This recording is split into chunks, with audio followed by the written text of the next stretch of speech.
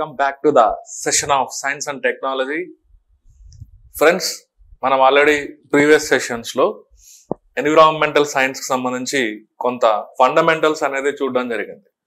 So నేను first నుంచి చెప్తూ ఉన్న మనకి group two main science and technology సిలబస్లో ఒక పార్ట్ వన్ మనం అనుకున్నట్లయితే పార్ట్ వన్ కిందికి టెక్నాలజీ పార్ట్ పార్ట్ టూ కిందికి ఎన్విరాన్మెంటల్ పార్ట్ మనం కన్సిడర్ చేయొచ్చు.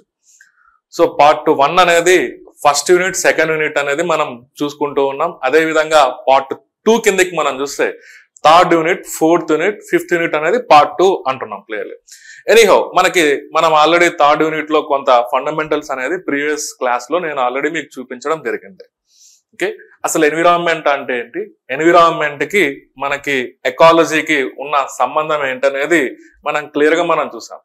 సో ఎన్విరాన్మెంటల్ సైన్స్లో ఎకాలజీ అనేది ఒక పార్ట్ సిమిలర్లీ బయోడైవర్సిటీ అనేది ఒక పార్ట్ ఇవంతా ఎన్విరాన్మెంటల్ సైన్స్ కిందకే వస్తాయని నేను ఫస్ట్ నుంచి మీకు చెప్తూ ఉన్నా ఫ్రెండ్స్ ఎనీహౌ ఈ ఈ పార్ట్ ద్వారా అంటే ఈ క్లాస్ ద్వారా మనం కొంతవరకు ఎకాలజీకి సంబంధించినటువంటి ఫండమెంటల్స్ అనేది మనం తెలుసుకొని ఉన్నాం. ఎకాలజీ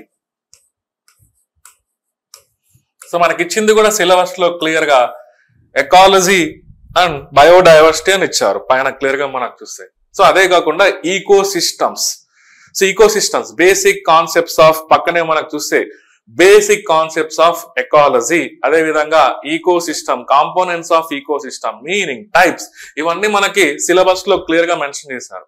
నేను లాస్ట్ క్లాస్లో సిలబస్ కూడా మీకు చూపించడం జరిగింది క్లియర్గా మనం చూసినట్లయితే.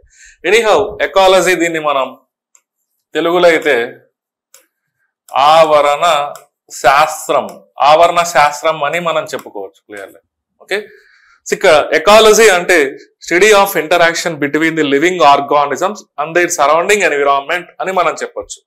అంటే భూమి పైన ఉన్నటువంటి జీవులకు మరియు వాటి పరిసరాలకు మధ్యలో మధ్యలో ఒక సంబంధాన్ని గినక మనం అధ్యయనం చేస్తూ ఉంటే అలాంటి సంబంధాలనే మనం ఇండైరెక్ట్గా ఆవరణ శాస్త్రం అని మనం చెప్పుకోవచ్చు.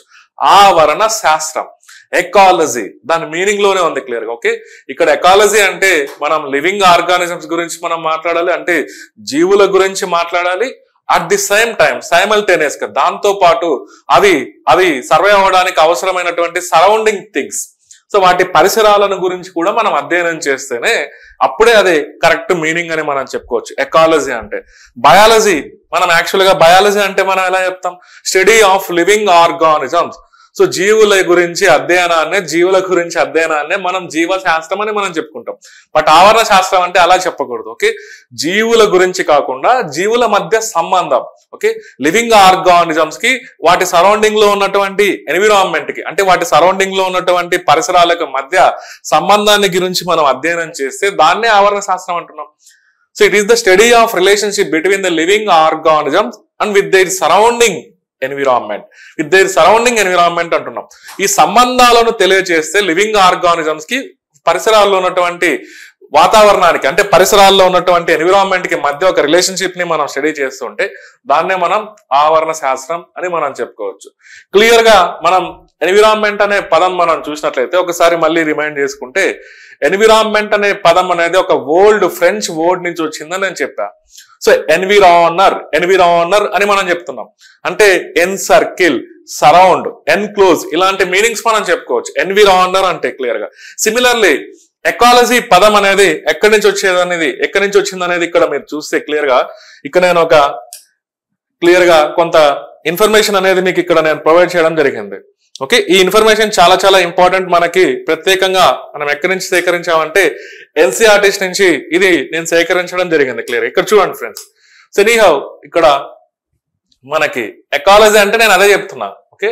So study of interaction between the living organisms and their surrounding environment అంటున్నాం clearly ecology is the study of organisms how they interact with the environment around them అదే మీనింగ్ సో ఇక్కడ డెఫినేషన్ ఎలా అన్నామండి? కానీ దాని అర్థం అనేది మనం మైండ్లో పెట్టుకోవాలి. దాని మీనింగ్ అనేది మనం మైండ్లో పెట్టుకోవాలి. సో బయాలజీ అంటే పూర్తిగా మనం లివింగ్ ఆర్గానిజమ్స్ గురించి మనం స్టడీ చేస్తున్నట్లు. బట్ టెకాలజీ అంటే మనం వాటి యొక్క లివింగ్ ఆర్గ్ ఫర్ ఎగ్జాంపుల్ బయాలజీలో మనం చూడండి. సో మైక్రో ఆర్గానిజమ్స్ గురించి స్టడీ చేస్తాం ప్లాంట్స్ గురించి చదువుతాం అనిమల్స్ గురించి చదువుతాం హ్యూమన్ అనాటమీ అండ్ ఫిజియాలజీ గురించి చదువుతాం. ఇవన్నీ మనం బయాలజీలో చూస్తాం. బట్ అవన్నీ ఇక్కడ మనం చూడాల్సిన అవసరం లేదు. ఓకే సో అఫ్ కోర్స్ కొంత నేను ఫస్ట్ నుంచి చెప్తున్నా. బయాలజీ నాలెడ్జ్ అనేది ఇక్కడ యూజ్ అవుతుంది. కొంతవరకు సిమిలర్లీ కెమిస్ట్రీలో ఉన్నటువంటి కొంత బేసిక్ నాలెడ్జ్ అనేది ఇక్కడ యూజ్ అవుతుంది. జాగ్రఫీలో ఉన్న నాలెడ్జ్ అనేది కూడా ఇక్కడ యూజ్ అవుతుంది. అదే అదే చెప్తున్నాం. సో ఎన్విరాన్మెంట్ అనేది అన్ని రకాలుగా మిక్స్ అయి ఉంది. బయాలజీలో ఉన్న కొన్ని కాన్సెప్ట్స్ కెమిస్ట్రీలో ఉన్నటువంటి కొన్ని కాన్సెప్ట్ జాగ్రఫీలో ఉన్నటువంటి కొన్ని కాన్సెప్ట్స్ ఇవన్నీ మిక్స్ అయి ఉంది కాబట్టి ఇది మల్టీ డిసిప్లినరీ సబ్జెక్ట్ కిందకి మనం కన్సిడర్ చేయొచ్చు. ఎనీహో ఎకాలజీ అనేది ఎన్విరాన్మెంట్లో ఒక పార్ట్ కిందకి మనం చూస్తున్నాం క్లియర్లీ ఓకే ఇక్కడ చూడండి దాని ఓడ్ గినక మీరు చూస్తే దాని ఓడ్ అసలు ఎక్కడి నుంచి వచ్చింది ఈ వర్డ్ అనేది ఇక్కడ మీరు చూస్తే చూడండి క్లియర్గా. The word ecology was coin by the German zoologist చూడండి. సో వీళ్ళంతా బేసికల్గా బయాలజీ సబ్జెక్ట్తో సంబంధం ఉండేవాళ్ళు సో ఎకాలజీ గురించి స్టడీ చేసిన సైంటిస్టులు అందరూ ఆల్మోస్ట్ వాళ్ళు బయాలజీతో సంబంధం ఉన్న వాళ్ళే ఉంటారు క్లియర్గా మీరు చూస్తే. చూడండి ఇక్కడ చూడండి ఈయన. German zoologist Ernst Haeckel the term ecology was coin by అంటే హెకల్ అని మనం చెప్పొచ్చు. Ernst Haeckel very very important GK question. జనరల్గా అలాంటి జీకే క్వశ్చన్స్లో మనకు అడుగుతూ ఉంటారు. గ్రూప్ టూలో అయితే మోస్ట్లీ సైంటిస్ట్ పేర్లు మెయిన్స్ ఎగ్జామినేషన్లో అలా డైరెక్ట్గా క్వశ్చన్స్ అనేది అడిగేదానికి ఛాన్సెస్ అనేది చాలా తక్కువ ఉన్నాయని మనం చెప్పుకోవచ్చు. ఒకవేళ అడిగినా కూడా అవి కూడా వాక్యాల రూపంలో ఇంక్లూడ్ చేసేదానికి స్కోప్ ఉంది. అందుకోసం నేను అక్కడక్కడ కొంతమంది పర్సన్స్ని కూడా నేను ఇక్కడ మీకు చెప్తూ ఉంటా క్లియర్గా.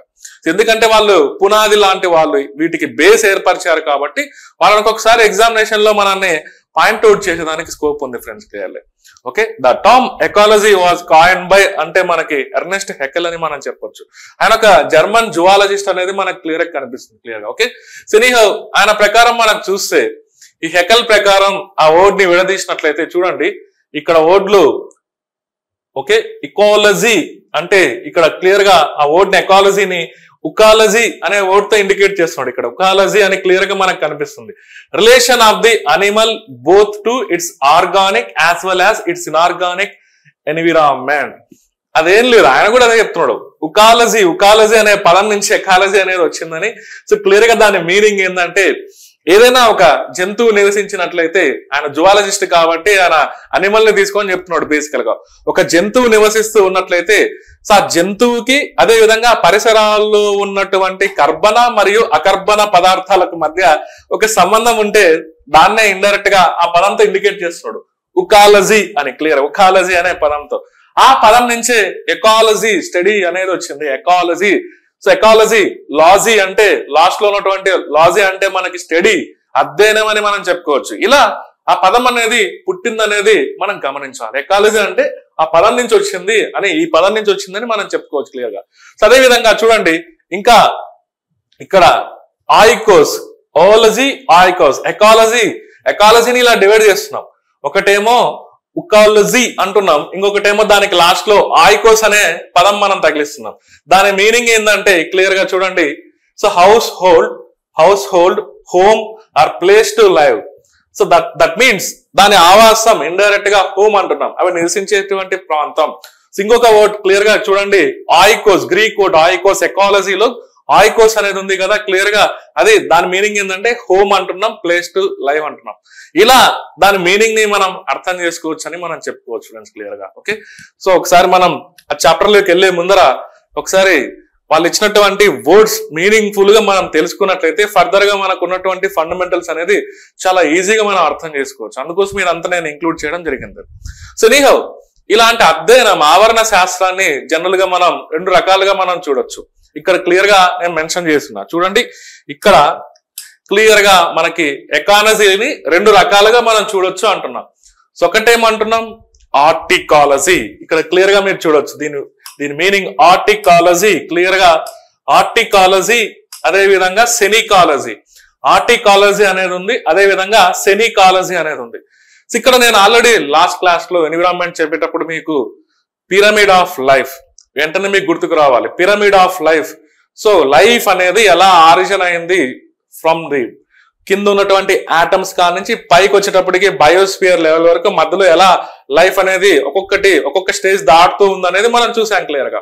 ఓకే అందులో నేను డెఫినేషన్స్ మీరు చూస్తే population community ecosystem biome biosphere ఇలాంటి డెఫినేషన్స్ని ఆల్రెడీ మీకు ఇంట్రడ్యూస్ చేయడం జరిగింది క్లియర్గా.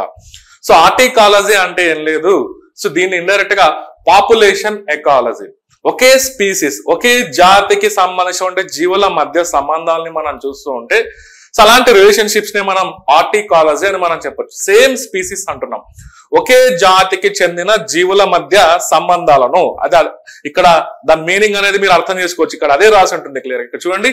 So autecology is the study of individual organisms or individual species ఒకే జాతికి చెందినటువంటి జీవుల యొక్క జీవుల మధ్య సంబంధాలను స్టడీ చేస్తే దాన్నే మనం ఆర్టికాలజీ ఆర్టికాలజీ అని మనం చెప్పాలి. Very very important word okay it is also known as population ecology మరి పాపులేషన్ జనాభా అంటే మీనింగ్ అదే కదా. ఒకే జాతికి చెందినటువంటి జీవుల యొక్క సముదాయాన్నే మనం జనాభా అని మనం చెప్పుకోవచ్చు క్లియర్ ఒకే జాతికి చెందినటువంటి జీవుల యొక్క సమూహాన్నే జనాభా అని మనం చెప్పుకోవచ్చు క్లియర్గా ఇక్కడ చూడండి సినికాలజీ. ఓకే ఇది different word. Autecology auto. For example humans ఉన్నారు అనుకోండి. సో మన అందరం హోమోసెపియన్స్ మనందరినీ ఎలా చెప్తామంటే హోమోసెపియన్స్ మన యొక్క శాస్త్రీయ నామం జనరల్గా బయాలజీలో మనకి బయోనామియల్ నామన్ క్లేచర్ అనేది ఒకటి ఉంటుంది. ద్వినామీకరణం. దాని ప్రకారం ప్రతి జీవికి శాస్త్రీయ నామాన్ని పెడుతూ ఉంటారు బేసికల్గా. సో ఈ బయనామియల్ నామన్ క్లేచర్ అనేది కరోలస్ లిన్నియస్ అనేటువంటి ఒక సైంటిస్ట్ ఇంట్రడ్యూస్ చేశాడు.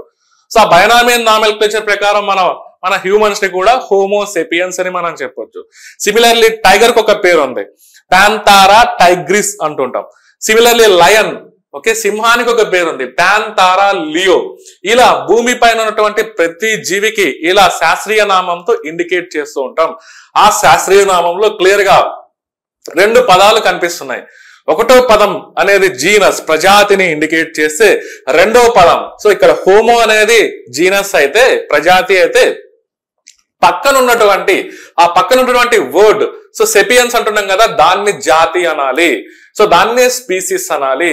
సో మానవులకు సంబంధించి మనకు తెలిసినటువంటి స్పీసీస్ ఎవరంటే సెపియన్స్ సో ఇప్పుడు ప్రజెంట్ భూమి పైన బతుకుతున్నటువంటి వాళ్ళు కూడా హోమోలో సెపియన్స్ అంటున్నాం. ఇంతకు ముందు మనకంటే ముందు యాక్చువల్గా పరిణామ క్రమంలో ఎవల్యూషన్లో మనం చూస్తే మానవ జాతికి సంబంధించి ఇంతకు ముందు ఉన్నటువంటి వాళ్ళు మనం చూస్తే హోమో ఎరెక్టస్ హోమో ఆల్బోపిక్టస్ వీళ్ళందరూ అంతరించిపోయారు. కాల గమనంలో ఎవల్యూషన్లో వీళ్ళందరూ అంతరించిపోవడం జరిగింది.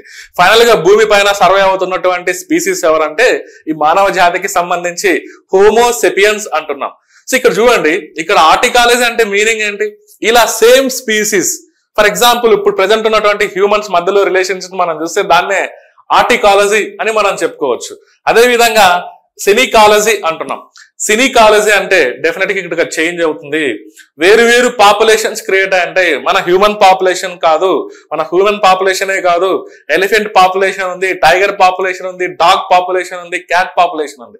ఇలా భూమి పైన వివిధ రకాల జనాభాలు అనేది క్రియేట్ అంటే వాటి మధ్య గినక మనం ఇండైరెక్ట్గా రిలేషన్షిప్స్ని మనం స్టడీ చేస్తూ ఉంటే దాన్నే మనం ఏమనొచ్చు అంటే సెనికాలజీ అనే వర్డ్తో మనం ఇండికేట్ చేయొచ్చు. It is the study of group of organisms of different species which are associated together as a unit to form community ఇక్కడ చూడండి పాపులేషన్ ఎకాలజీ అంటున్నాం. ఇక్కడ కమ్యూనిటీ కమ్యూనిటీ అనే వర్డ్ నేను ఆల్రెడీ మీకు ఫస్ట్ క్లాస్లో నేను చెప్పడం జరిగింది లాస్ట్ క్లాస్లో. సో కమ్యూనిటీ అంటే ఏం లేదు. కమ్యూనిటీ అంటే వేరు వేరు పాపులేషన్స్ అందులో మనం ఇమాజిన్ చేసుకుంటే అదే దాన్నే మనం కమ్యూనిటీ అంటున్నాం. ఆ గ్రూప్ నే మనం కమ్యూనిటీ అంటున్నాం. ఇక్కడ ఇండైరెక్ట్గా కమ్యూనిటీ ఎకాలజీని తెలియజేస్తుందని మనం చెప్పుకోవచ్చు. So these two words are very very important ఇక్కడ మనం మాట్లాడుకున్నటువంటి ఉకాలజీ ఉకాలజీ అనే పదం ఆయికోస్ అనేటువంటి పదం at the same time synecology autecology అదేవిధంగా సైంటిస్ట్ ఎర్నెస్ట్ హెకల్ ఇవన్నీ మనకి మనం స్కూల్ మనకి బేసికల్గా ఇంటర్మీడియట్ బుక్స్లో స్టార్టింగ్లో ఇవన్నీ మెన్షన్ చేసి ఉంటారు క్లియర్గా. సో ఇంటర్మీడియట్ బుక్స్లో మీరు గమనిస్తే తెలుగు అకాడమీ బుక్లో కొంత ఇన్ఫర్మేషన్ ఉంటుంది క్లియర్గా.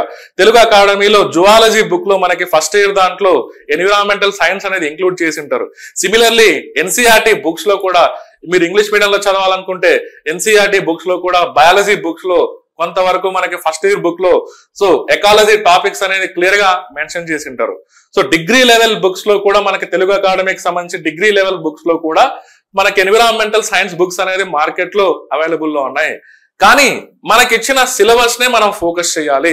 అవన్నీ మనం చదువుకుంటూ వెళ్ళామనుకోండి సిలబస్ చూడకుండా.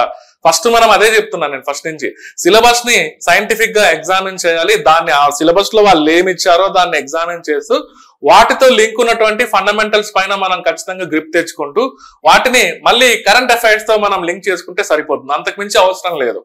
సిలబస్లో వాళ్ళు ఏమి ఇచ్చారు? వాటిపైన మనం ఆ ఆ ప్రాథమిక అంశాలపైన పట్టు సాధించడంతో పాటు వాటిని వర్తమాన అంశాలతో లింక్ చేసుకుంటే సరిపోతుంది అనేది నా పాయింట్ ఆఫ్ వ్యూ. ఇలానే క్వశ్చన్స్ అనేది అడుగుతున్నారు. మీరు కాంపిటేటివ్ ఎగ్జామ్స్లో మీరు చూసే క్వశ్చన్స్ అనేది ఒక యూపీఎస్సీలైనా ఏపీఎస్సీ గ్రూప్ వన్ లైనా అయినా క్వశ్చన్స్ అనేది ప్యూర్లీ ఫండమెంటల్స్ ఈ సైన్స్ అండ్ టెక్నాలజీకి సంబంధించి ఎలా అడుగుతుంటారంటే ఫండమెంటల్స్ పైన మనకు అవగాహన ఉందా లేదా అనేది చెక్ చేస్తుంటారు. అదే విధంగా ఈ ఫండమెంటల్స్ ఆధారంగా మనం బేసిక్స్తో పాటు కరెంట్ ఇష్యూస్ని మనం ఎలా రిలేట్ చేసుకుంటున్నాం అనేది కూడా ఒక ఇంపార్టెంట్ పాయింట్ ఆఫ్ వ్యూ అనేది మనం గమనించాలి. ఇదే మనకు కావాల్సింది. ఇది ఒక్కటి మైండ్లో ఉంటే చాలు. ఇప్పుడు మనం మాట్లాడుకుంది మీరు మైండ్లో పెట్టుకుంటే చాలు అంతే.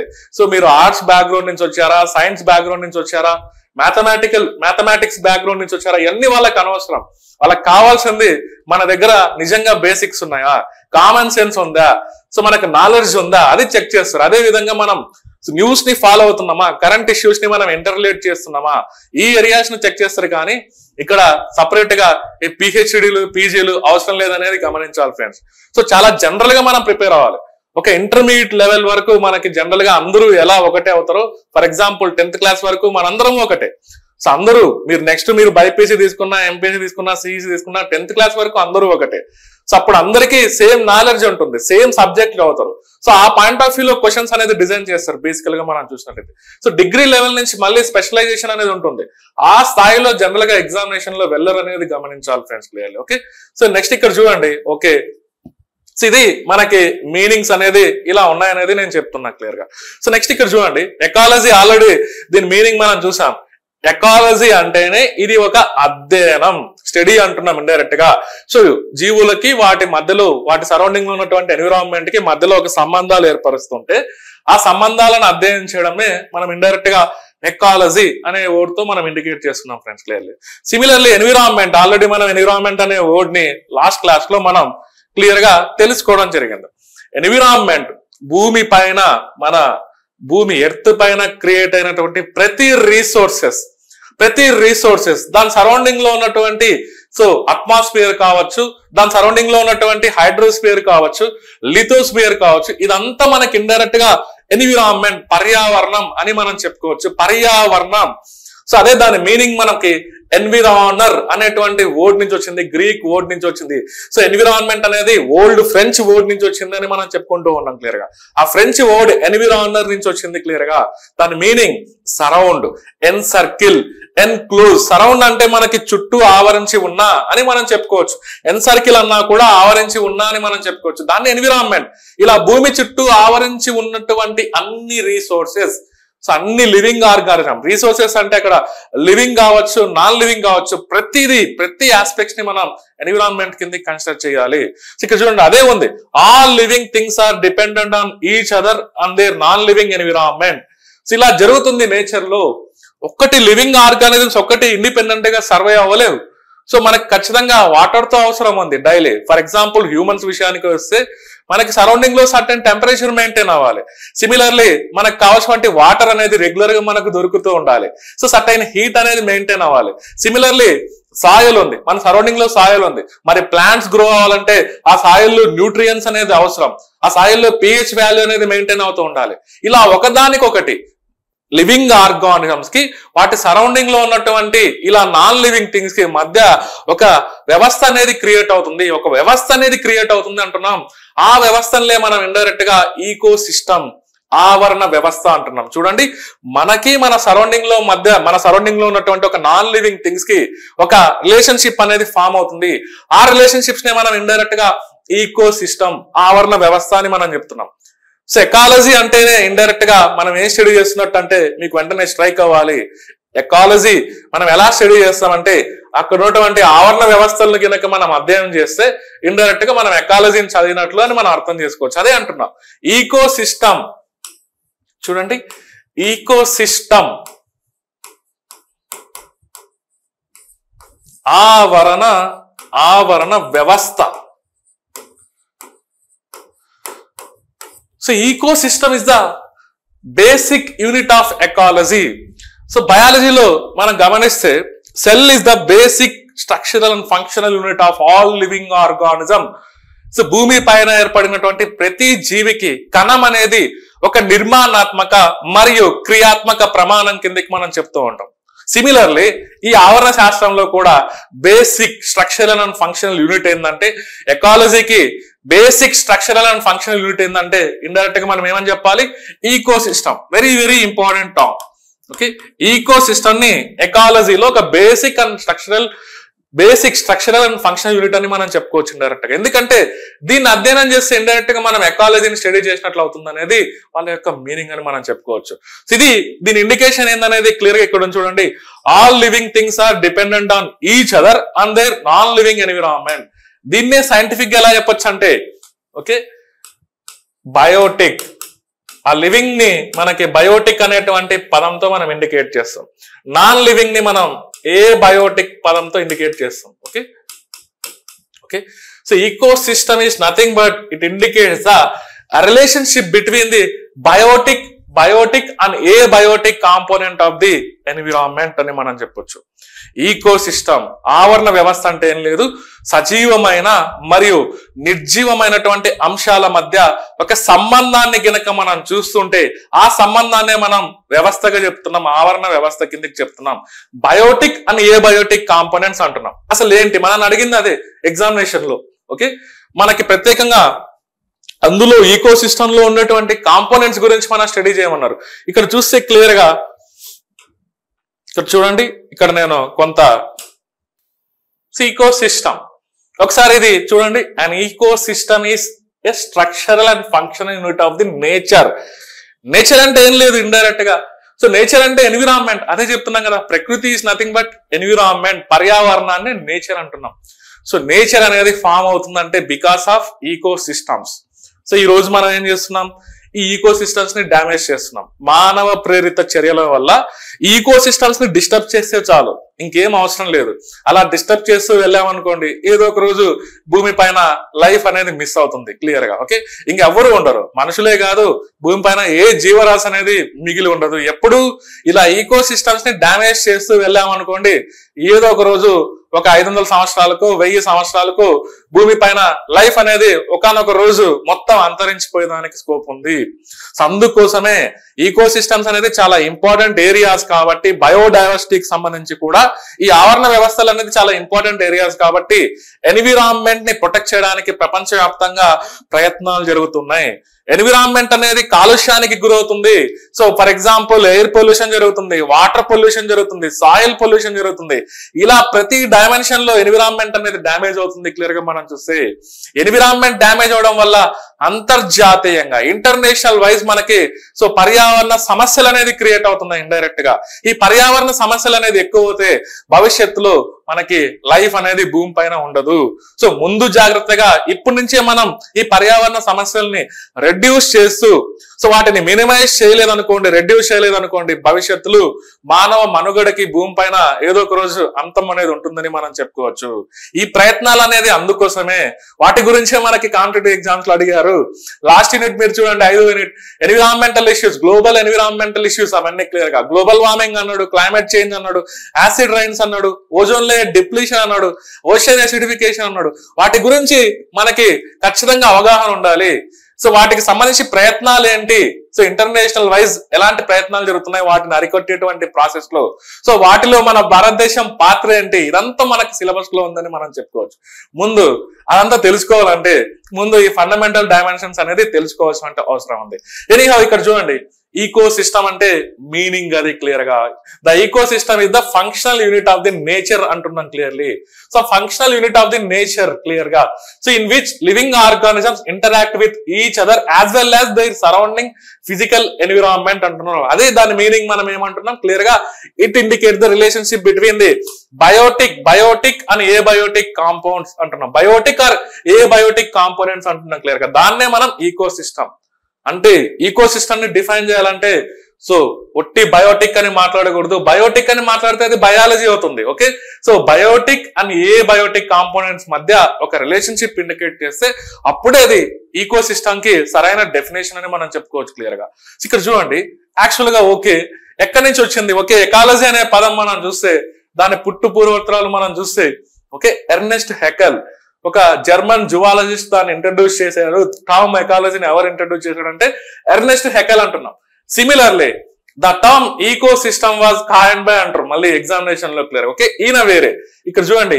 A G Tansley sir Arthur A G Tansley okay Tansley try to remember memories these things కొన్ని కొన్ని ఫ్యాక్ట్స్ మనం మనకు వేరే ఆప్షన్ ఉండదు ఖచ్చితంగా. అవి మనం మెమరైజ్ చేసుకోవాల్సిన అవసరం ఉంది. లాజికల్గా వాటిని గుర్తుపెట్టుకోవాలి బైహార్ట్ చేయాలి. ఆ బైహార్ట్ చేసే విధానం కూడా చాలా లాజికల్గా ఉండాలి. గుడ్డిగా బట్టి కొట్టకూడదు అనేది గమనించాలి. ఒక లాజికల్గా సీక్వెన్స్తో మనం నేర్చుకుంటూ సబ్జెక్ట్ని మధ్యలో వచ్చేటువంటి పాయింట్స్ని మధ్యలో వచ్చేటువంటి ఇంపార్టెంట్ ఫ్యాక్ట్స్ని మెమరైజ్ చేసుకునే దానికి ట్రై చేయాలి. అలానే ఉండాలి. సో బ్లైండ్గా మనం బైహార్ట్ చేయకూడదు ఏది కూడా. సో బైహార్ట్ చేయాలి. బ్లైండ్గా చేయకూడదు. ఒక లాజికల్గా బైహార్ట్ చేయాలనేది నా యొక్క ఒపీనియన్ సరిగా ఇక్కడ the term ecosystem was coin by అంటే సార్ ఆర్థర్ ట్రాన్స్లే అంటున్నాం. ఇండైరెక్ట్గా ఏజీ ట్రాన్స్లే సో ఆయనే ఈకో సిస్టమ్ అనే పదాన్ని ఇంట్రడ్యూస్ చేశాడు. ఎకాలజీ అనే పదం మనం చూస్తే క్లియర్గా. సోకే ఎర్నెస్ట్ హెకెల్ అంటున్నాం క్లియర్గా. ఓకే నీహో ఇక్కడ మనం ఒకసారి బ్రీఫ్గా ఈకో సిస్టమ్లో ఉన్నటువంటి కాంపోనెంట్స్ మనం ఇక్కడ ఇండికేట్ చేశా. Okay very very easy to remember ఇక్కడ మీరు చాలా ఈజీగా ఈ కాంపోనెంట్స్ని మీరు గమనించాలి ఫ్రెండ్స్ చూడండి నేను అంటున్నా ఈకో సిస్టమ్ అంటేనే రెండు ఉండాలి. బయోటిక్ సిమిలర్లీ ఏ బయోటిక్ అంటున్నాం. బయోటిక్ అంటే ఇది లైఫ్ ఓకే లివింగ్ ఆర్గానిజమ్స్తో సంబంధం ఉన్నటువంటి ఏరియా ఇది మనకి ఏ బయోటిక్ అంటే ఎలా చెప్పొచ్చు మనం? ఇలా నాన్ లివింగ్ నిర్జీవమైన ఓకే? దీన్ని తెలుగులో అయితే నిర్జీవమైన అని మనం చెప్పొచ్చు. దీన్ని అయితే సజీవమైన అని మనం చెప్పొచ్చు. వీటి రెండింటి మధ్య రిలేషన్షిప్ ఉంటే దాన్నే ఈకో సిస్టమ్ అంటున్నాం. సో ఈకో సిస్టమ్లో వీళ్ళు క్లియర్గా ఈ ఫ్లో చార్ట్లో ఇక్కడ నేను ఒక డయాగ్రామ్ని మీకు ఇక్కడ ఇండికేట్ చేయడం జరిగింది.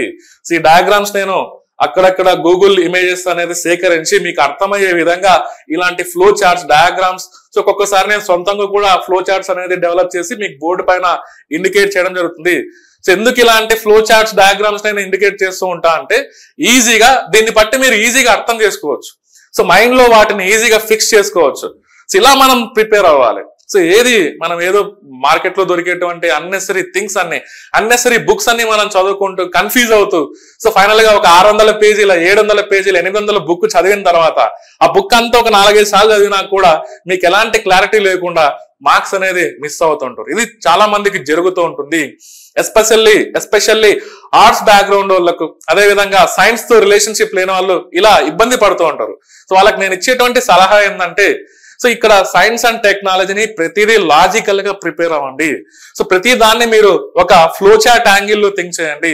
ప్రతి దాన్ని మీరు డయాగ్రమెటిక్ యాంగిల్లో థింక్ చేయండి. ఆటోమేటికల్గా మీ మైండ్లో ఫిక్స్ అవుతుంది అనేది గమనించాలి ఫ్రెండ్ సో ఇది చాలా చాలా ఇంపార్టెంట్ ఆస్పెక్ట్ సో ప్రతి ఒక్క ఆస్పిరెంట్ ఖచ్చితంగా ఇది గమనించాలి. సైన్స్ అండ్ టెక్నాలజీ మీరు పర్ఫెక్ట్గా ప్రిపేర్ అవ్వాలంటే ప్రతి దాన్ని ఫ్లో యాంగిల్లో చూడాలి. అట్ ది సేమ్ టైం ప్రతిదాన్ని డయాగ్రమాటిక్ ఇమాజినేషన్ విజువలైజేషన్ యాంగిల్లో మీరు చూస్తేనే అప్పుడే మీకు ఈజీగా గుర్తుండిపోతుంది. సో ఆ సబ్జెక్ట్ని ఈజీగా మీరు అర్థం చేసుకోగలుగుతారు మెమరైజ్ చేసుకోగలుగుతారు. సో దాని నుంచి ఎలా క్వశ్చన్స్ అడిగినా కూడా మీరు అట్లీస్ట్ దాన్ని ఇంటర్ప్రిటేషన్తో ఎలిమినేషన్ చేసి ఆన్సర్లు పెట్టేదానికి స్కోప్ ఉందనేది గమనించాలి ఫ్రెండ్ సో గుడ్డిగా ఎవరిని చదవద్దు ఏ బుక్ని ఫాలో అవ్వద్దు బేసికల్గా. సో ప్రతి దాన్ని సైంటిఫిక్గా చూసేదానికి ట్రై చేయండి. ఇక్కడ చూడండి. ఓకే ఈకో సిస్టమ్ అందులో రెండు ఉన్నాయి అంటున్నాం ఒకటేమో ఏ బయోటిక్ అంటున్నాం? అంటే లైఫ్తో ఎలాంటి సంబంధం లేదు నాన్ లివింగ్ అంటున్నాం. ఇంకొకటేమో బయోటిక్ అంటున్నాం. ప్యూర్లీ ఇది లైఫ్తో సంబంధం ఉంది అంటున్నాం. ఫస్ట్ ఏ బయోటిక్ చూడండి? లైఫ్తో సంబంధం లేని అంశాలు. ఓకే? అందులో మనకి ఇందాక నేను మాట్లాడుతున్నా సో మనం మనం సర్వే అవ్వాలంటే మన చుట్టూ వాటర్ ఉండాలి మనకు సర్టైన్ టెంపరేచర్ మెయింటైన్ అవుతూ ఉండాలి సర్టైన్ హీట్ మెయింటైన్ అవుతూ ఉండాలి ఇలాంటివన్నీ సర్టైన్ విండ్స్ అనేది మెయింటైన్ అవుతూ ఉండాలి. అప్పుడే మనకి సర్వే సర్వే అవ్వడానికి సరైన పరిసరాలు ఉన్నాయని మనం చెప్పుకోవచ్చు. ఇవన్నీ లేవనుకోండి మనం నివసించేటువంటి పరిసరాల్లో ఒక వారం రోజులు వాటర్ లేవు. డెఫినెట్గా ఆ వారం రోజుల్లో ఎంతమంది చనిపోతారో మీరు ఇమాజిన్ చేసుకోవచ్చు ఫ్రెండ్స్ సో దీన్ని బట్టి సో నేచర్లో రెండిటికి ఒక సంబంధం ఉండాలి. అప్పుడే ఆ సిస్టమ్ అనేది డెవలప్ అవుతుంది అనేది మనం గమనించాలి. ఇక్కడ చూడండి ఇక్కడ ఏ బయోటిక్ కాంపోనెంట్స్ని రెండు రకాలుగా మనం డివైడ్ చేస్తున్నాం. ఒకటేమో క్లైమాటిక్ ఫ్యాక్టర్స్ ఓకే శీతోష్ణ స్థితి పరమైన అంశాలు అంటున్నాం. ఇంకొకటేమో ఎడిఫిక్ అంశాలు ఎడిఫిక్ ఫ్యాక్టర్స్ అంటున్నాం. Edaphic factors okay climatic factors for example rainfall so తప్పకుండా సీజనల్గా ఒకనొక టైంలో రెయిన్ ఫాల్ అనేది మనం చూస్తూ ఉండాలి. ఒకసారిగా మనకి ఒక సంవత్సరం గనక వర్షపాతం గనక సరిగ్గా నమోదు అవ్వలేదు అనుకోండి అసలు వర్షమే పడలేదు అనుకోండి జస్ట్ ఇమాజిన్ సో మనకి దానిపైన డిపెండ్ అయ్యేటువంటి ఫార్మర్స్ ఎంత మంది నష్టపోతారు సో ఫుడ్ సెక్యూరిటీలో ఎలాంటి ప్రాబ్లమ్స్ వస్తాయి? ఇవన్నీ మనం అబ్జర్వ్ చేయొచ్చు. సో రెయిన్ ఫాల్ అనేది కీ ఫ్యాక్టర్ అదేవిధంగా లైట్ లైట్ మనకి మన భూమి పైన అల్టిమేట్ సోర్స్ ఆఫ్ ఎనర్జీ ఎవరంటే మన భూమి పైన అల్టిమేట్ సోర్స్ ఆఫ్ ఎనర్జీ ఎవరంటే ఏం చెప్తాం? సన్ ఇండైరెక్ట్గా సన్ నుంచి వచ్చేటువంటి ఆ కిరణాలనే రేడియేషన్ నే మనకి లైట్ సోర్స్ అని మనం చెప్పుకోవచ్చు. దాని ఆధారంగానే మొక్కలు ఆ లైట్ను ఉపయోగించుకొని కిరణజన్య సంయోగ క్రియను జరుపుకుంటూ ఫోటోసింథసిస్ జరుపుకుంటూ ఫుడ్ మెటీరియల్స్ని మ్యానుఫ్యాక్చర్ చేసుకుంటూ ఉన్నాయి. ఇది కూడా ఒక ఇంపార్టెంట్ కీ ఫ్యాక్టర్ మొక్కలు అలా జరుపుకోవడం వల్లే వాటిపైన డిపెండ్ అవుతూ ఒక ఫుడ్ చైన్స్ అనేది నేచర్లో ఫామ్ అవుతున్నాయి. ఇనీషియల్గా మొక్కలు ఆహారాన్ని తయారు చేసుకుంటేనే తర్వాత దానిపైన డిపెండ్ అవుతూ ఆహార వలయాలు అనేది నేచర్లో డెవలప్ అవుతున్నాయి. అదే విధంగా విన్ అంటున్నాం గాలులు. ఇవి కూడా కీ రోల్ ప్లే చేస్తాయి. అదే విధంగా టెంపరేచర్ సరౌండింగ్ టెంపరేచర్. సో ఈ మధ్య కాలంలో మనం చూస్తున్నాం గత కొద్ది సంవత్సరాలుగా ప్రతి సంవత్సరం మనకు టెంపరేచర్ చూస్తే సో ఆల్మోస్ట్ ఈ మధ్య కాలంలో నమోదైనటువంటి హాటెస్ట్ ఇయర్ ఏంటంటే సో రెండు వేల ఇరవై మూడు అంటాం. ఆ రెండు వేల ఇరవై రెండులో మళ్ళీ రెండు వేల ఇరవై రెండు అంటాం. అంటే గత ఐదారు సంవత్సరాలుగా టెంపరేచర్ అనేది విపరీతంగా చేంజ్ అవుతుంది పెరిగిపోతూ ఉంది. టెంపరేచర్ అనేది కొంతవరకు అవసరం. కొంతవరకు ఆ టెంపరేచర్ ఉంటేనే మనకి దాని ద్వారా హీట్ ఎనర్జీ అనేది మనకి ప్రొవైడ్ చేయగలుగుతుంది. సో దానివల్ల ఈ టెంపరేచర్ కనుక ఎక్స్ట్రీమ్ వెళ్తూ ఉంది అనుకోండి ఖచ్చితంగా నేచర్ అనేది స్పాయిల్ అవుతుంది క్లియర్గా. అందుకే మీరు చూడండి డిజర్ట్ ఏరియాస్లో లైఫ్ అనేది అంత పర్ఫెక్ట్గా ఉండదు క్లియర్గా మనం చూస్తే. అదే విధంగా ఒక ట్రాపికల్ ఫారెస్ట్లో మనకి. సో ట్రాపికల్ ఫారెస్ట్లో మనం చూస్తే లైఫ్ అనేది ఎలా ఉంటుంది? డిజర్ట్ రీజియన్లో చూస్తే లైఫ్ అనేది ఎలా ఉంటుందో మనం ప్రత్యేకంగా మనం చూస్తుంటాం. ఇక్కడ ఒక ఫారెస్ట్ ఉంది ఇక్కడ ఒక ఈకో సిస్టమ్ ఉంది ఆ డిజర్ట్లో ఒక ఈకో సిస్టమ్ ఉంది ప్రత్యేకంగా మనం చూసినట్లయితే. అక్కడ మెయిన్ కీ రోల్ ప్లే చేసేది ఏంటంటే ఒకటి టెంపరేచర్ అదేవిధంగా వాటర్ క్వాంటిటీ రెయిన్ ఫాల్ ఇవన్నీ అక్కడ ఉన్నటువంటి రెయిన్ ఫాల్ టెంపరేచర్ ఇవన్నీ కీ రోల్ ప్లే చేస్తాయి. So that is the importance of climatic factors climatic factors ఇంత ఇంపార్టెన్స్ ఉంది. ఇవే గనక లేవంటే మీరు ఇమాజిన్ చేసుకోవచ్చు లైఫ్ అనేది ఎలా ఉంటుందో బేసికల్గా. So climatic factors you may get a question like this so which are the following factors related to the climatic factors of the ecosystem abiotic components of the ecosystem అడుగుతారు? కింది వాటిలో ఒక ఆవరణ వ్యవస్థకు సంబంధించి నిర్జీవపరమైనటువంటి అంశాలు క్లైమాటిక్ ఫ్యాక్టర్స్ని గుర్తించండి అంటే ఇలా మీరు గమనించాలి. సరౌండింగ్ థింగ్స్ ఓకే లైట్ అది కూడా క్లైమాటిక్ ఫ్యాక్టర్స్. టెంపరేచర్ అది కూడా climatic factors. Similarly rainfall అది కూడా క్లైమాటిక్ ఫ్యాక్టర్స్. సిమిలర్లీ మనకి క్లియర్గా విండ్స్ ఇవన్నీ క్లైమాటిక్ ఫ్యాక్టర్స్ అనుకోవచ్చు. సో నెక్స్ట్ వన్ ఇక్కడ చూడండి. అడిఫిక్ ఫ్యాక్టర్స్. ఇది ప్యూర్లీ మనకి కొంతవరకు దీన్ని ఎలా అర్థం చేసుకోవచ్చు అంటే నేలకు సంబంధించింది. ఓకే? సాయిల్ అనేది చాలా ఇంపార్టెంట్. సో ల్యాండ్ అనేది చాలా ఇంపార్టెంట్. లిథోస్పియర్. సాయిల్ అనేది క్రియేట్ అవుతుందంటే ఈ నేలలు క్రియేట్ అవుతుందంటే లిథోస్పియర్ అనేది ఒక ఇంపార్టెంట్ కాంపోనెంట్ ఉంది ఎన్విరాన్మెంట్లో సో హైడ్రోస్పియర్ అనేది ఒక ఇంపార్టెంట్ కాంపోనెంట్ ఉంది. అట్మాస్ఫియర్ అనేది ఒక ఇంపార్టెంట్ కాంపోనెంట్ కాంపోనెంట్ ఉంది. లిథోస్పియర్ అంటున్నాం. Outer rocky part of the earth నే ఇండైరెక్ట్గా మనకి లిథోస్పియర్ శిలావరణం అంటున్నాం. సో దీని నుంచే మనకి సాయిల్స్ అనేది ఫామ్ అవుతున్నాయి ఇండైరెక్ట్గా. ఆ సాయిల్స్లో కొన్ని పారామీటర్స్ అనేది కీ రోల్ ప్లే చేస్తాయి. ఆ కొన్ని పారామీటర్స్ని మనం ఇండైరెక్ట్గా ఎడిఫిక్ ఫ్యాక్టర్ సాయిల్ నేలలతో లింక్ ఉన్నటువంటి ఫ్యాక్టర్స్ నే ఎడిఫిక్ ఫ్యాక్టర్ ఎడిఫిక్ అంశం అని మనం చెప్పుకోవచ్చు ప్రత్యేకంగా.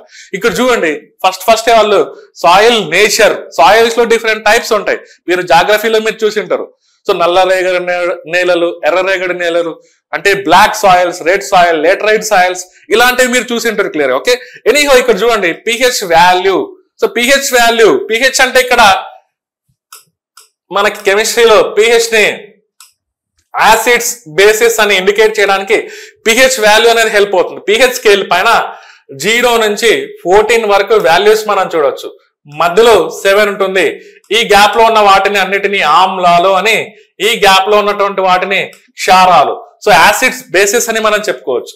సో పిహెచ్ అనే పదం మనం వాడుతున్నాం అంటే ఇక్కడ హెచ్ ప్లస్ అయాన్స్ని హెచ్ ప్లస్ అయాన్స్ని బేస్ చేసుకొని hydrogen H plus ion so hydrogen ions H plus అయాన్స్ని base చేసుకొని మనం పిహెచ్ వాల్యూ అనేది క్యాలిక్యులేట్ చేస్తూ ఉంటాం. ఓకే ఎనీహౌ ఇక్కడ చూడండి ఆ పిహెచ్ వాల్యూ ఆధారంగా ఆ సాయిల్ యొక్క స్వభావం ఎసిడిక్గా ఉందా?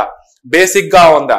సో ఎసిడిక్గా మారిపోతుందంటే సాయిల్స్ ఖచ్చితంగా అక్కడ లైఫ్ అనేది డ్యామేజ్ అవుతుంది. ఆ సాయిల్లో సర్వైవ్ అయినటువంటి మైక్రో ఆర్గానిజమ్స్ కానీ ఆ సాయిల్లో డిపెండ్ అయ్యేటువంటి ఇన్సెక్ట్స్ కానీ ఇవన్నీ అక్కడ ఉన్నటువంటి లైఫ్ అనేది ఎసిడిక్గా కన్వర్ట్ అవుతూ ఉంటే ఖచ్చితంగా డ్యామేజ్ అవుతుంటాయి. ఎందుకంటే acids acids corrosive property even మొక్కలు కూడా పెరగలేవు. సో ఎసిడిక్ ఎన్విరాన్మెంట్లో మరీ ఎసిడిక్గా ఉందనుకోండి సాయిల్ యొక్క పిహెచ్ డ్రాప్ అవుతుంది అనుకోండి అక్కడ విత్తనాలు కూడా మొలకెత్తలేవు జర్మినే జర్మినేట్ అవ్వలేవు. అదంతా ఒక వేస్ట్ ల్యాండ్ కింద కన్వర్ట్ అవుతుంది. సో అందుకోసమే పిహెచ్ వాల్యూ అనేది కీ రోల్ ప్లే చేస్తుంది లైఫ్కి క్లియర్గా. సాయిల్ సో మొక్కలు పెరగాలన్నా జంతువులు సర్వైవ్ అవ్వాలన్నా కీటకాలు పెరగాలన్నా మైక్రో ఆర్గానిజమ్స్ పెరగాలన్నా పిహెచ్ వాల్యూ అనేది కీ రోల్ ప్లే చేస్తుంది. అది కూడా ఒక ఇంపార్టెంట్ ఫ్యాక్టర్ మరి మినరల్స్ మినరల్స్ అంటున్నాం. సో ప్లాంట్స్కి అదే విధంగా అక్కడ నివసించేటువంటి మైక్రో ఆర్గానిజమ్స్కి సాయిల్లో నివసించే- నివసించేటువంటి మైక్రో ఆర్గానిజమ్స్కి ప్లాంట్స్కి వీటన్నిటికీ ఈ ఖనిజాలు అనేది కీ రోల్ ప్లే చేస్తాయి. సో ఫర్ ఎగ్జాంపుల్ మనకి ఒక నైట్రోజన్ కంటెంట్ అనుకోవచ్చు పాస్పరస్ కంటెంట్ అనుకోవచ్చు అదే విధంగా కాల్షియం కంటెంట్ అనుకోవచ్చు అదే విధంగా ఐరన్ కంటెంట్ అనుకోవచ్చు మ్యాంగనీస్ ఇలాంటివన్నీ కాపర్ మ్యాంగనీస్ ఇలాంటివన్నీ పొటాషియం ఇలాంటివన్నీ మినరల్స్ కిందకి మనం చెప్పుకోవచ్చు ఇండైరెక్ట్గా మినరల్స్ కిందకి మనం చెప్పుకోవచ్చు. సో టోపోగ్రఫీ ఓకే అక్కడ ఉన్నటువంటి టోపోగ్రఫీ దాని స్ట్రక్చర్ ఎలా ఉంది? హిల్లీ ఏరియాస్లో ఉందా? ప్లెయిన్స్లో ఉంటుందా? పీఠభూములుగా ఉంటుందా? లేదా హిల్లీ ఏరియాస్లో ఉంటుందా? ఆ సాయిల్ అనేది అది కూడా కీ రోల్ ప్లే చేస్తాయని మనం చెప్పుకోవచ్చు. So this are all belongs to the this are all belongs to the abiotic components abiotic components అని మనం చెప్పుకోవచ్చు.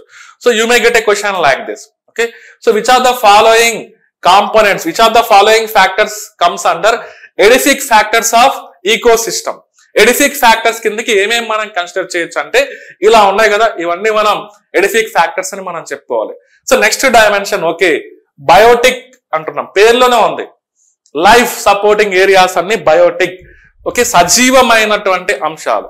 సో వాటిలో మనం క్లియర్గా గ్రోత్ మనం చూస్తున్నాం. వాటి డెవలప్మెంట్ మనం చూస్తున్నాం. రిప్రొడక్షన్ మనం చూస్తున్నాం. అవి సర్వే అవ్వడం అంటే అది సజీవమైందని ఎప్పుడు చెప్తాం? దాని క్యారెక్టర్స్ ఇది ఉండాలి. వాటిలో పెరుగుదలను మనం చూడాలి. అదే విధంగా వాటిలో పునరుత్పత్తి రిప్రొడక్షన్ అనేది మనం చూడాలి. ఈ రెండు వాటిలో మూమెంట్స్ ఒక ప్రాంతం నుంచి ఇంకొక ప్రాంతం కొన్ని కొన్ని జీవులు ఒక ప్రాంతం నుంచి ఇంకొక ప్రాంతంలోకి మూవ్ అవుతూ ఉంటాయి. ఇలాంటివన్నీ మనం చూస్తే ఓకే అప్పుడే అవి ఎలా చెప్పొచ్చు మనం? బయోటిక్ కాంపోనెంట్స్ లైఫ్ అంటే ఇండైరెక్ట్గా లైవ్ అంటున్నాం క్లియర్గా ఓకే లైఫ్ అంటున్నాం క్లియర్గా ఓకే లైఫ్ అంటున్నాం క్లియర్గా. సో లైఫ్ అనేది అక్కడ క్లియర్గా చూస్తే వాటినే బయోటిక్ కాంపోనెంట్స్ అని మనం చెప్పుకోవచ్చు ఫ్రెండ్స్ ఓకే అందులో సింపుల్గా ఒకసారి థింక్ చేయండి. ఏముంటాయి? లైఫ్ సంబంధించి మన సరౌండింగ్లో మొక్కలు ఉన్నాయి. దానిపైన డిపెండ్ అయ్యేటువంటి జంతువులు ఉన్నాయి. మళ్ళీ వాటిపైన డిపెండ్ అవుతూ ఇలా మొత్తం ఒక ఒక చైన్ అనేది ఫామ్ అవుతుంది క్లియర్గా మనం చూస్తే. ఆ చైన్స్ని మనం ఇండైరెక్ట్గా ఆ చైన్స్ని ఒక్కొక్క లెవెల్లో మనం చూస్తూ ఉంటాం. ఓకే?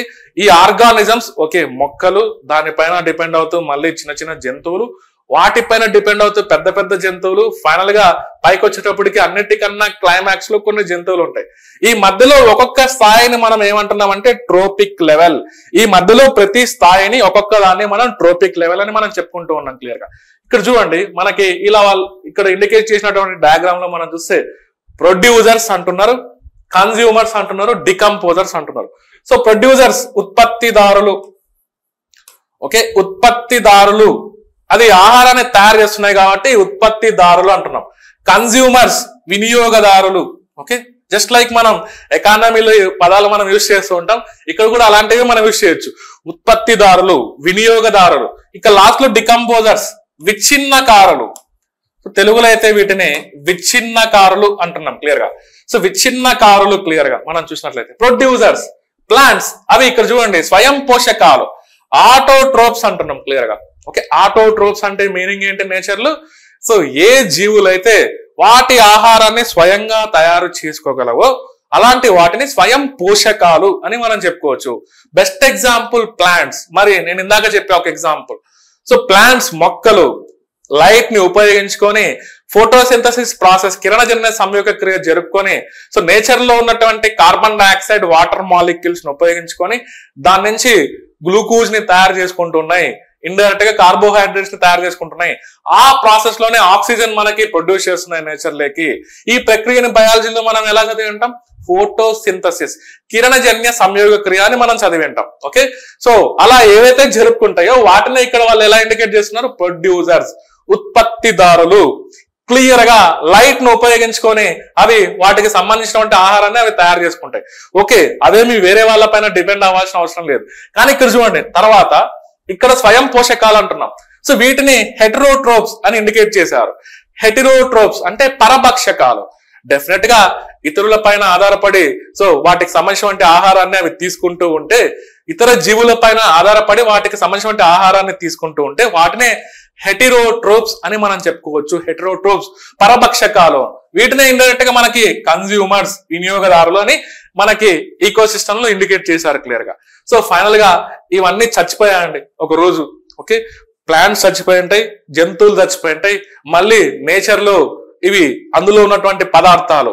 సో మనలో ఉన్నటువంటి న్యూట్రియంట్స్ మొక్కలు కావచ్చు జంతువులు కావచ్చు ఒక్కసారిగా చనిపోయిన తర్వాత సో అవి డెఫినెట్గా మన బాడీలో కానీ అంటే మనము మీన్స్ అనిమల్స్ బాడీలో కానీ ప్లాంట్స్ మొక్కల యొక్క బాడీలో ఉన్నటువంటి న్యూట్రియంట్స్ అనేది రీసైకిల్ అవుతూ ఉంటాయి. రీసైకిల్ అవుతాయి నేచర్ లేకి అవి వేస్ట్ అవ్వకుండా రీసైకిల్ అవ్వాలంటే ఈ విచ్ఛిన్న కారులు అనేది అవసరం. డికంపోజర్స్ సో వీటికి సాప్రోట్రోప్స్ సాప్రోట్రోప్స్ అంటే ఏం లేదు పూతికాహారులు. తెలుగులో మనం చూస్తే పూతికాహారులు అని మనం చెప్పుకుంటూ ఉంటాం.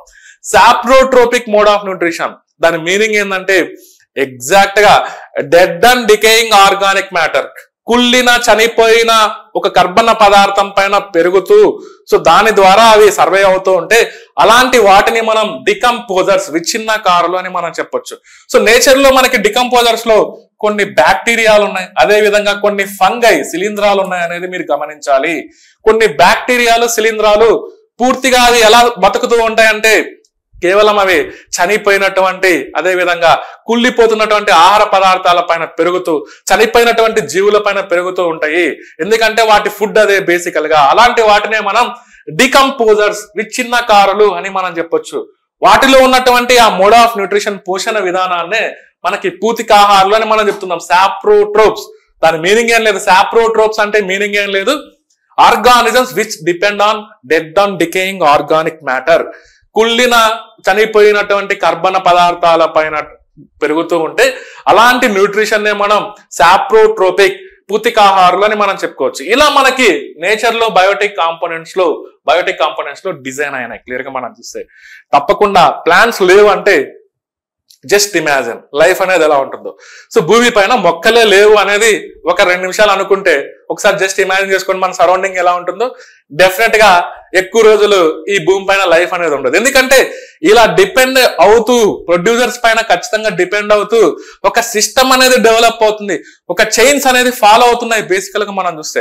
ఒక్కసారిగా మొక్కలు అనేది ఏది ఒక్క మొక్క కూడా కనిపించకుంటే భూమి పైన ఖచ్చితంగా లైఫ్ అనేది ఎక్కువసేపు ఉండదు. ఎక్కువ రోజులు ఉండదు అనేది మనం చెప్పుకోవచ్చు క్లియర్గా.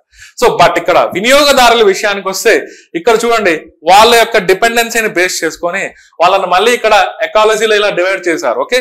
ప్రైమరీ కన్జ్యూమర్స్ ప్రాథమిక వినియోగదారులు సెకండరీ కన్జ్యూమర్స్ ఓకే ఈ ప్రైమరీ కన్జ్యూమర్స్ అంటే నేరుగా ప్లాంట్స్ పైన డిపెండ్ అయ్యేటి. ప్రాథమిక వినియోగదారులు నేరుగా ప్రొడ్యూసర్స్ పైన తింటూ ఉంటాయి. సో సెకండరీ కన్జ్యూమర్స్ అంటే వీటిని ఆహారంగా తీసుకుంటూ ఉంటాయి. అదేవిధంగా టెర్షియరీ కన్జ్యూమర్స్ అంటే వీటిని ఆహారంగా తీసుకుంటూ ఉంటాయి. సో అదేవిధంగా క్వటనరీ కన్జ్యూమర్స్ అంటే మళ్ళీ వీటిని ఆహారంగా తీసుకుంటూ ఉంటాయి క్లియర్గా మనం చూస్తే. ఇలా ఒక నేచర్లో ఒక సిస్టమ్ అనేది ఫాలో అవుతుంది క్లియర్గా మనం చూసినట్లయితే ఓకే ఇలా primary consumers secondary consumers tertiary consumers quaternary consumers ఇలా చైన్ అవుతూ ఒక చైన్ మాదిరి ఫామ్ అవుతూ పోతుంది. ఇలా ఉంది నేచర్లో మనం చూస్తే. ఈ ఇలాంటి ఆస్పెక్ట్స్ నుంచే మనకు వచ్చింది ఫుడ్ చైన్స్ ఆహార ఆహార గొలుసులు అని మనం చెప్పుకోవచ్చు ఓకే? దీని నుంచి వచ్చినటువంటి ఏరియానే ఇండైరెక్ట్గా మనకి ఫుడ్ చైన్స్ అనే కాన్సెప్ట్ అనేది మనకు ఉంది నెక్స్ట్ మనం వాటి గురించి డిస్కస్ చేయనున్నాం ఫ్రెండ్స్ ఓకే? ఇలా ప్రొడ్యూసర్స్ దీనిపైన డిపెండ్ అవుట్ కన్జ్యూమర్స్ అనేది ఉన్నాయి. ఓకే కన్జ్యూమర్స్ అనేది మళ్ళీ ఇలా primary consumers secondary consumers tertiary consumers quaternary consumers ఇలా డిఫరెంట్ యాంగిల్స్లో మనం రాసుకుంటూ పోయాం. బట్ ఇవన్నీ చనిపోయాయి అనుకోండి నేచర్లో ఇవన్నీ చనిపోతే వీటిని మళ్ళీ తిరిగి నేచర్లో వీటిలో ఉండేటువంటి కొన్ని యూస్ఫుల్ కంటెంట్ని రీసైకిల్ చేయాలంటే మనకి ఈ డికంపోజర్స్ అనేది అవసరమని మనం చెప్పుకోవచ్చు. Very very important so decomposers అంటే ఏం లేదు. ఒక కొన్ని రకాల బ్యాక్టీరియా ఫంగై ఏవైతే dead and decaying organic matter పైన సర్వే అవుతూ ఉంటాయో సో వాటి నుంచి మళ్ళీ న్యూట్రియంట్స్ని రీసైకిల్ చేస్తూ ఉంటాయో వాటిని మనం డికంపోజర్స్ అని మనం చెప్పుకోవచ్చు. Okay this is very very important area ఇప్పుడు మనం ఇప్పుడు వరకు మనం డిస్కస్ చేసిన అంతా బేసిక్స్ క్లియర్గా. ఓకే ఈకో సిస్టమ్లో ఈకో సిస్టమ్ అంటే మీనింగ్ ఏంటి మనం చూసాం? సిమిలర్లీ ఈకో సిస్టమ్లో ఈకో సిస్టమ్ అనేది ఎలా డెవలప్ అయి ఉంటుంది? అందులో ఉన్నటువంటి కాంపోనెంట్స్ అంటే ఏంటో నేను క్లియర్గా ఈ ఫ్లోర్ చార్ట్ ద్వారా మనం ఇండికేట్ చేయడం జరిగింది. ఓకే సో నెక్స్ట్ సెషన్లో ఇంకా కొంత డీటెయిల్గా దీని గురించి మనం ఇంకా నెక్స్ట్ ఏం జరుగుతుంది? ఇలా డెవలప్ అవ్వడం వల్ల నెక్స్ట్ ఏం జరుగుతుంది? సో తర్వాత ఈ ఈకో సిస్టమ్ అనేది ఎలా పని చేస్తూ పోతుంది అనేది నెక్స్ట్ క్లాస్లో మనం check చేయనున్నాం. That's all for this session thank you